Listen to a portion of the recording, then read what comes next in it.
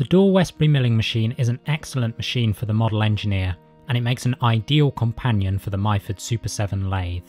It does, however, receive criticism from many people. The reason for this is primarily due to its lack of rigidity.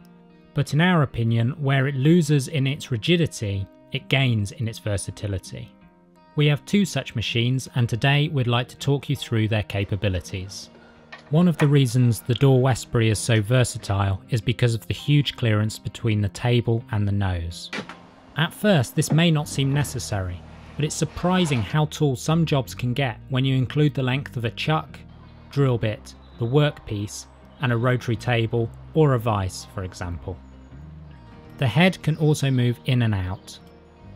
If you need to machine something large like a clock face, the head can be moved outwards. Otherwise, it's beneficial to have the head as far in as possible.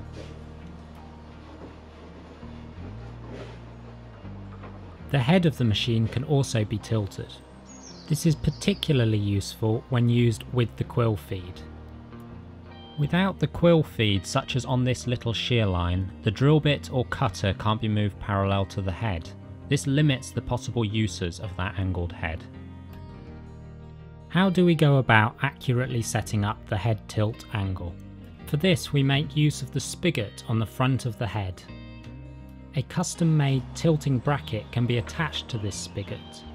We can accurately set the angle of the tilting bracket using angle slips or a sine bar. A spirit level is then used on the tilting bracket to bring it horizontal. The spirit level has a resolution better than 30 arc seconds so this is an astonishingly accurate and sensitive way of setting the angle of the head, provided you set your mill table horizontal or use an adjustable spirit level. Before moving on to the table, I'd just like to finish up with the head. Here we demonstrate the fine feed and the easy switch over to the rapid feed for drilling. For drilling depth measurement, we simply use a linear scale. On this particular machine we've fitted stops on the X and Y axes. This allows us to use gauge blocks to accurately move the table. More importantly however, the stops are sometimes more suitable in certain situations than a DRO. Having said that, we have fitted a DRO to our other machine and it is very useful in many circumstances. For instance here we are prototyping a medical device. This required an array of 1mm diameter holes to be drilled in a piece of titanium sheet. We've discussed many of the advantages of the Dore Westbury milling machine, but of course, as with any system, there will always be some compromises.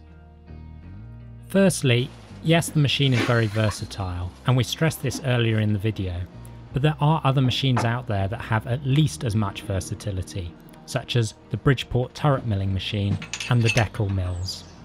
Of course, these milling machines are a lot more difficult to transport, whereas the Dore Westbury will fit in nearly any car and can be moved by just one person. The compromise for this is the requirement to take light cuts. To raise and lower the head, the vertical alignment is lost. There are approaches we can use to alleviate this issue, such as a guidance pillar bolted to the side of the pillar support casting. However, this will never be as accurate as a precision ground slideway. The Dore Westbury was originally provided in kit form, so people had to make the machines themselves. Of course, the quality of work that can be produced is very much dependent on the quality of the machine. Some were very well made, whereas others less so. Here are some examples of past projects we have completed on this very machine. Thank you for watching this video. If you enjoyed it and would be interested in future videos similar to this, we would hugely appreciate your subscription.